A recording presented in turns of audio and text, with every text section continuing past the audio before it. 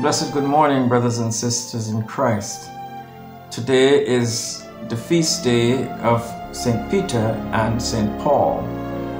Today, 29th June. So we will hear a little more about them later on in the service.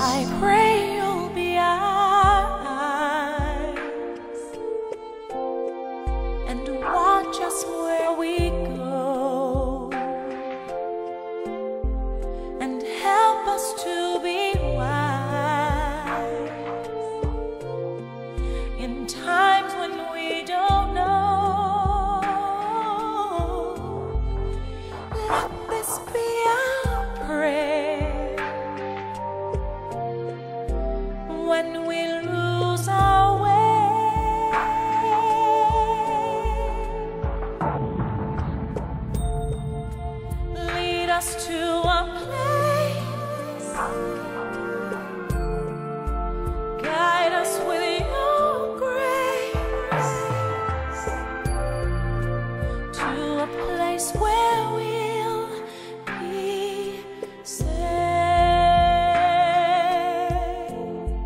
I pray we'll find your light Pray we'll find your light and hold it in our heart. and hold it in our heart. When stars go out each night, Stars go out each night. remind us where you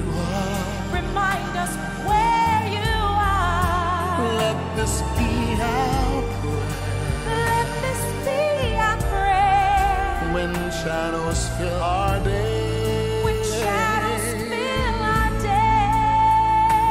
Oh Lord, lead us to a place of mine. Guide us with your grace. Guide us with your grace. Give us faith so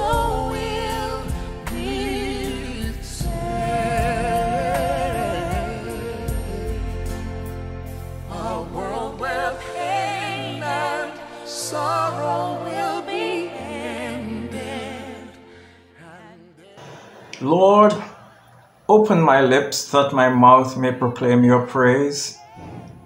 Blessed be the Lord God, by whose grace we are yet alive. Blessed be his Son, Jesus Christ, by whose rising we are set free. Blessed be the Spirit of God, in whom is our hope and our joy. Let us pray. Father, we come together in the name of your Son, Jesus Christ, our Redeemer, to offer you our worship, praise, and thanksgiving. To you belong all power and glory. You are the source of all goodness. Let our worship bear witness to your peace and saving power. Through your Spirit, may we ever rejoice in the abiding presence of our risen and ascended Lord. Amen.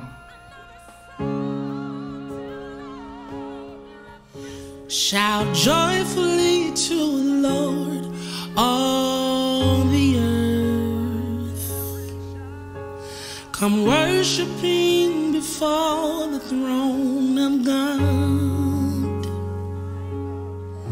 For the Lord, He is good, and His love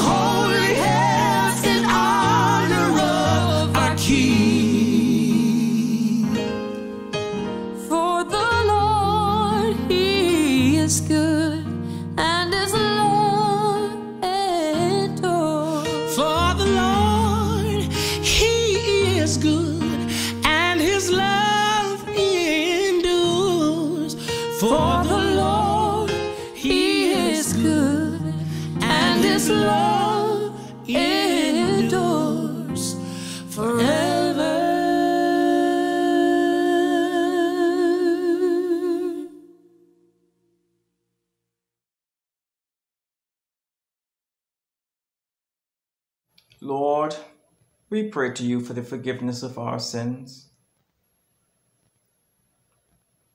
Have mercy upon us, most merciful Father. In your compassion, forgive us our sins, known and unknown, things done and left undone, and so uphold us by your Spirit that we may live and serve you in newness of life to the honor and glory of your name, through Jesus Christ our Lord. Amen. Set us free from the bondage of our sins, and give us the liberty of that abundant life which you have made known to us in your Son, our Savior, Jesus Christ, who lives and reigns with you in the whole unity of the Holy Spirit, one God, now and forever. Amen.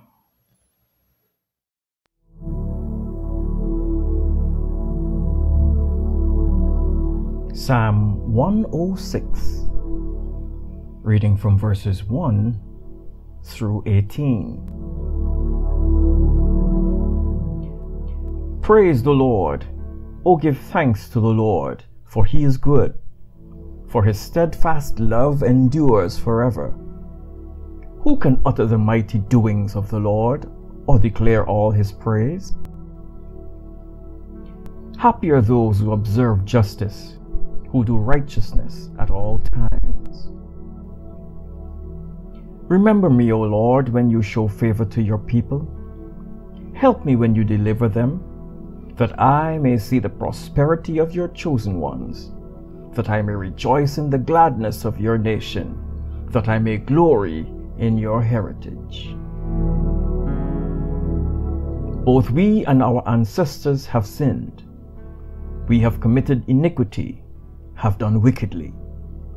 Our ancestors, when they were in Egypt, did not consider your wonderful works. They did not remember the abundance of your steadfast love, but rebelled against the Most High at the Red Sea. Yet he saved them for his name's sake, so that he might make known his mighty power.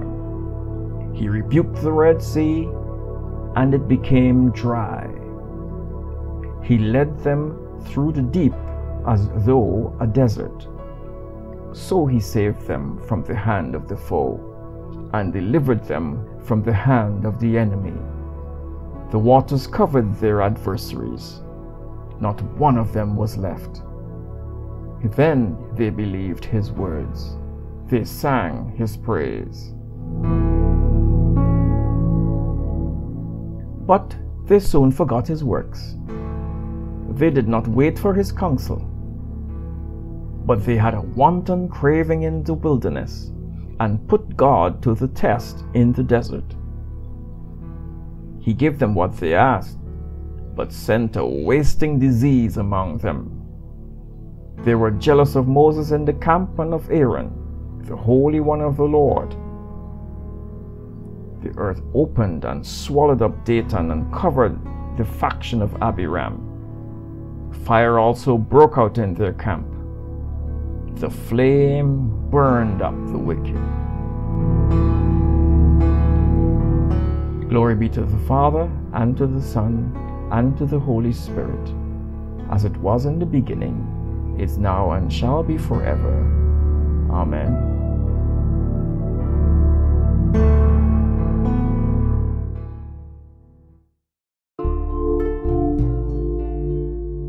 Our first reading is taken from the book of Numbers, chapter 22, verses 1 through 21. The Israelites set out and camped in the plains of Moab across the Jordan from Jericho. Now Balak, son of Zippor, saw all that Israel had done to the Amorites. Moab was in great dread of the people because they were so numerous. Moab was overcome with fear of the people of Israel. And Moab said to the elders of Midian, This horde will now lick up all that is around us, as an ox licks up the grass of the field. Now Balak, son of Zippor, was king of Moab at that time. He sent messengers to Balaam, son of Beor, at Pethor, which is on the Euphrates, in the land of Amal, to summon him, saying, A people has come out of Egypt. They have spread over the face of the earth, and they have settled next to me. Come now, curse this people for me, since they are stronger than I. Perhaps I shall be able to defeat them and drive them from the land. For I know that whomever you bless is blessed, and whomever you curse is cursed. So the elders of Moab and the elders of Midian departed with the fees for divination in their land. And they came to Balaam and gave him Balak's message. He said to them, Stay here tonight, and I will bring back word to you, just as the Lord speaks to me. So the officials of Moab stayed with Balaam. God came to Balaam and said, Who are these men with you? Balaam said to God, King Balak, son of Zippor of Moab, has sent me this message. A people has come out of Egypt who has spread over the face of the earth. Now come curse them for me. Perhaps I shall be able to fight against them and drive them out. God said to Balaam, You shall not go with them. You shall not curse the people for they are blessed. So Balaam rose in the morning and said to the officials of Balak, Go to your own land, for the Lord has refused to let me go with you.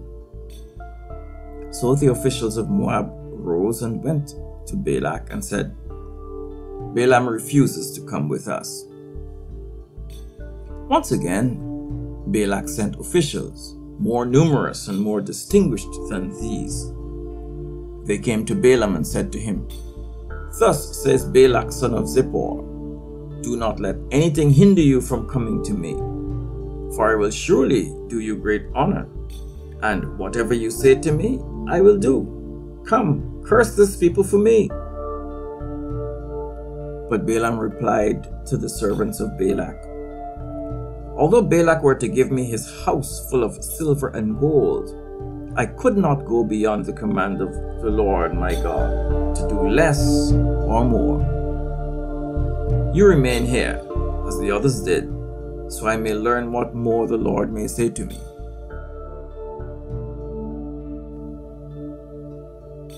That night, God came to Balaam and said to him, If the men have come to summon you, get up and go with them but do only what I tell you to do.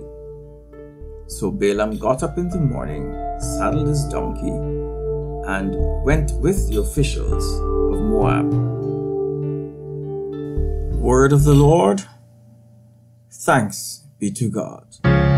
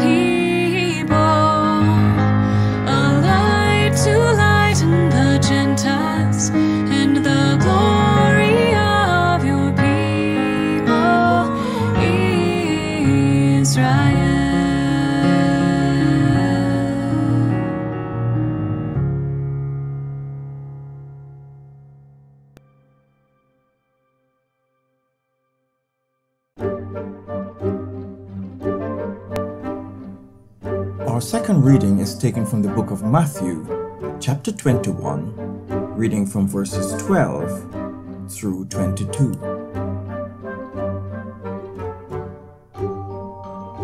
Then Jesus entered the temple and drove out all who were selling and buying in the temple. And he overturned the tables of the money changers and the seats of those who sold doves. He said to them, It is written, My house shall be called a house of prayer, but you are making it a den of robbers. The blind and the lame came to him in the temple, and he cured them. But when the chief priests and scribes saw the amazing things that he did, and heard the children crying out in the temple, Hosanna to the Son of David, they became angry and said to him, Do you hear what they are saying? Jesus said to them, Yes. Have you never read, Out of the mouths of infants and nursing babes, you have prepared praise for yourself?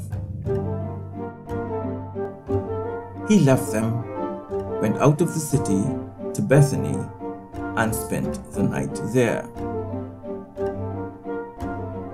In the morning, when he returned to the city, he was hungry. And seeing a fig tree by the side of the road, he went to it and found nothing at all on it but leaves. Then he said to it, May no fruit ever come from you again. And the tree withered at once. When the disciples saw it, they were amazed, saying, How did the fig tree wither at once? Jesus answered them, Truly I tell you, if you have faith and do not doubt, not only will you do what has been done to the fig tree, but even if you say to this mountain, Be lifted up and thrown into the sea, it will be done. Whatever you ask for in prayer with faith, you will receive. Word of the Lord. Thanks be to God. I want to talk today about prophetic blessings and curses. Uh, I want to talk particularly about the power of the prophetic tongue. It's comforting to know that we have priests and prophets in the church, and we call upon them to bless our homes and our cars and to pray over us in birthdays and anniversaries. It feels good to know that we have available um, someone whose one word of blessing can significantly impact our lives uh, for the better. Uh, it's good to know that we have those ministries available in the church. Well, King Balak, king of Moab, felt the same way about his prophet Balaam. He knew that he will call upon him when he needed to, and if he paid him just enough money, he can use him to curse Israel. And so that was his plan. He believed in the power of the tongue. He believed that, as Proverbs chapter 18, verse 21 says, that life and death is in the power of the tongue. He understood that words are not just wind. He understood, as according to Proverbs as well, that life and death are in the power of the tongue, and the proverb goes on to say that they that love it shall eat the fruit thereof. In other words, will be made to eat our words. Our words form our world. What we say is very powerful and very important. Words are not just wind. And so it's possible that the state of our lives today is because of that which we spoke or should have spoken. Not only does life and death lie in the power of the tongue, but also blessings and curses. Uh, the prophetic blessing is very powerful. And the second chronicles chapter 20 verse 20 says believe in the lord your god and you shall be established. Believe in his prophets and you shall prosper. In our gospel reading in matthew chapter 21 we see jesus cursing the fig tree. He spoke one word and the tree withered. The disciples questioned him concerning how was this possible and he says, It is only possible through the word of faith. So blessing and curses are in the tongue. Not only blessings and curses and life and death are in the tongue, but binding and loosing are in the tongue. Uh, the, there's binding and loosing in the prophetic word. In Matthew chapter 16, verses 19, Jesus said to his disciple Peter, And I will give you the keys of the kingdom of heaven. And whatsoever you bind on earth shall be bound in heaven, and whatsoever you loose on earth shall be loosed in heaven. Now, Encyclopedia Biblica says that in Jewish terminology, to bind and to loose mean to forbid with indisputable authority or to permit by indisputable authority. Now, St. Peter, formerly Simon, a fisherman, and indeed he became a recognized leader in the church and he became a symbol of the church universal. And he, his ministry was particularly to the Jews.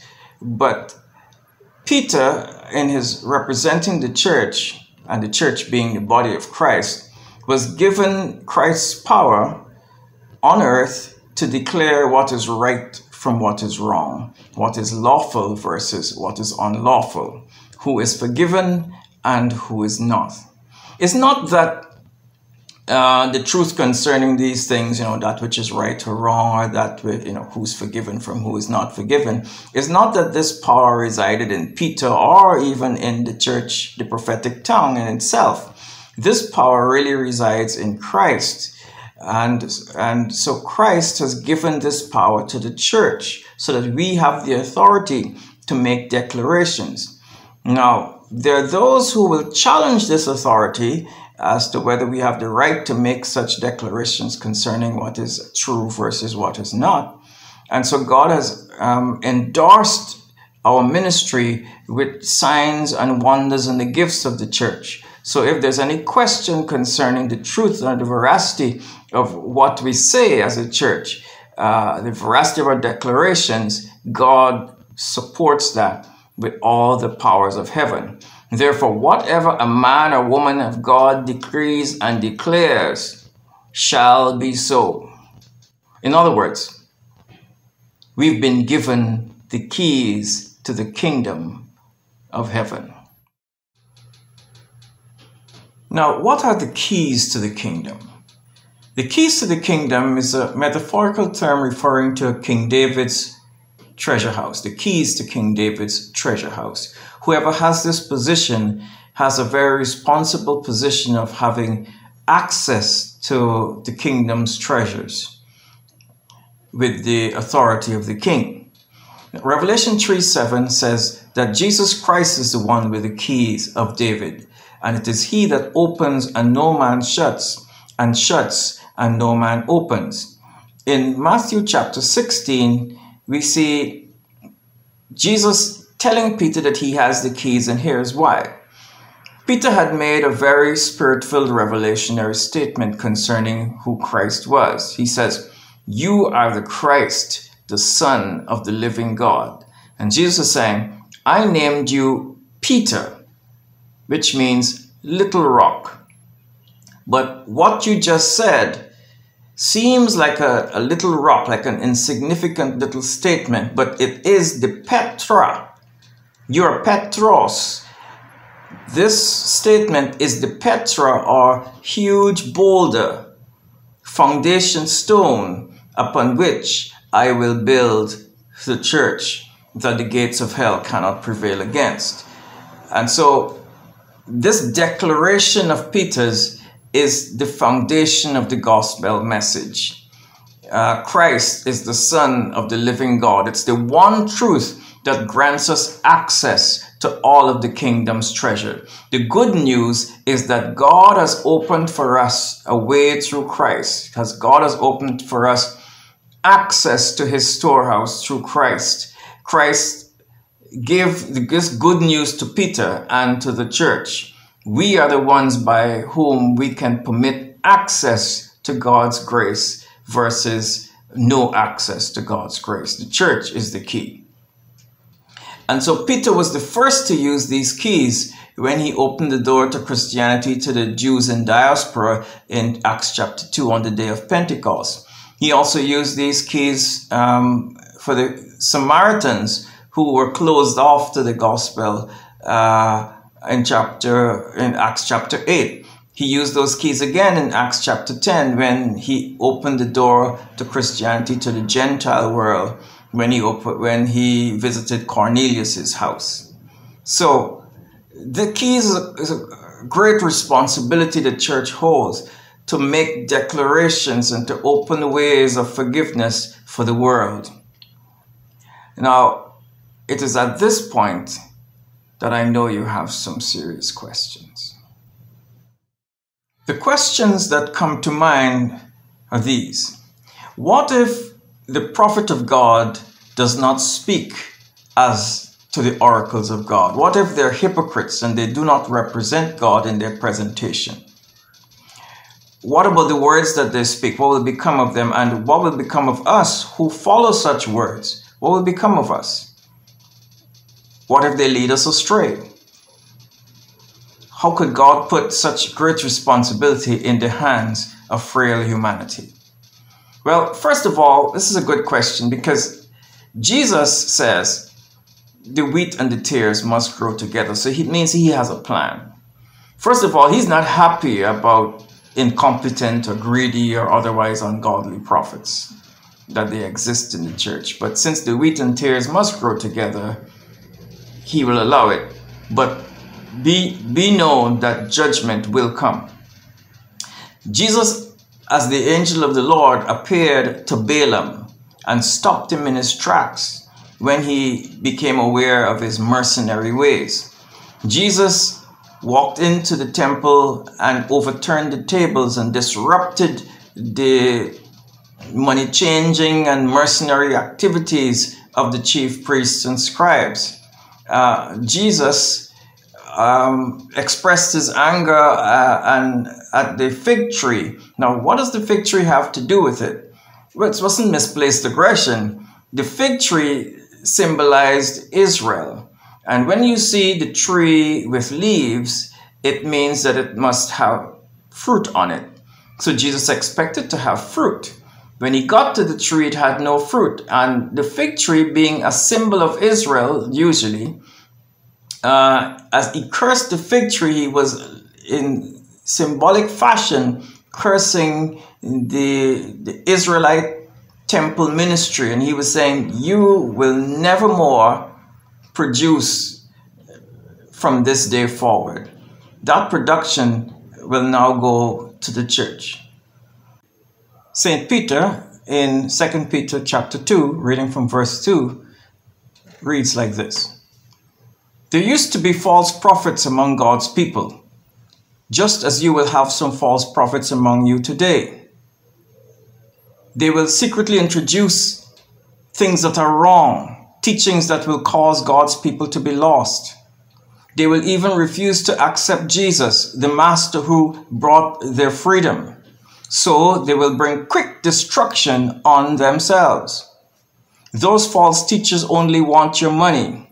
So in their greed, they will exploit you by telling you lies. Their judgment spoken against them long ago is still coming, and their ruin is certain. Secondly, not only that God will judge false prophets, but he will save those who can be saved. See, nothing will be allowed to stop the growth of God's church. The gates of hell and death will not prevail against it. So, so many prophets, for example, may just be immature. And, uh, and many others will just be acting out of a moment of weakness. So, what does God do? He tries to save them. And what about you? Who followed them and got misled. God will find a way to save you because God is about salvation. So Peter goes on. God saved Lot from these cities. Lot was a good and righteous man. But because he lived among evil people every day, day after day, his good heart was hurt by the evil things he saw and heard. So the Lord knows how to save those who serve Him. When troubles come from trial, testing, and temptation, however, God will hold evil people and punish them while they wait for their punishment on Judgment Day. Now, here's an example. The church failed miserably to include Gentiles. And when they did so, God raised up the Apostle Paul. And the Apostle Paul became the apostle to the Gentiles. Now, he was not one of the twelve, he was in their minds an outsider, even though he was a Pharisee and he knew the law well and he was persecuting the church. God stopped him on the road to Damascus and called him into ministry. And Paul became apostle to the Gentiles. The apostle, um, the apostle Paul became recognized as a founder of the local church, while Peter was recognized as a founder of the universal church. So in Paul's letters, Paul was writing to home churches, and we still have those letters to help inform us concerning doctrine today. So, leadership, when they fail, God steps in. Here's another example the Apostle Peter himself found himself in a state of hypocrisy. He was eating with the Gentiles, and as soon as his Jewish colleagues and friends came in, he got up and, and led a, a group of others with him to leave the Gentiles' table. It was very embarrassing. So Paul had to confront him publicly about this. So the momentary failure of the establishment or the, the, the priests or the prophets in the church will not destroy the church. Brothers and sisters in Christ, we are all individual members, living stones that make up the holy temple. While there is a, the church universal, the church universal is made up of the local church, and the local church is made up of you and I. We are the church. And when the church as an organization failed, and when the symbols of the organization disappoint us and let us down, let us not lump this with the whole church. You are the church. I am the church. We must speak prophetically. So Jesus tells them if you want to curse fig trees and you want to move mountains, speak, but speak in prayer. Do so prayerfully. When the house of prayer failed, the temple. He says, You can pray and hear from God and speak for God because you and I are the church. We must watch our words. Let our words form our world.